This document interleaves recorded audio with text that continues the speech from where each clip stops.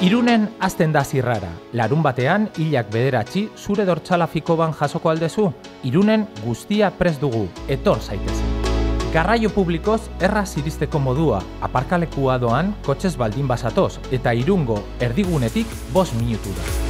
Jarduera ugari egun osoan, pintxopote berezia, komertzioak ere dena emateko pres horren egun berezian, kultura ekitaldiak. Bizi ezazu behobia donostia beste modu batera, irunen azten da zirrara.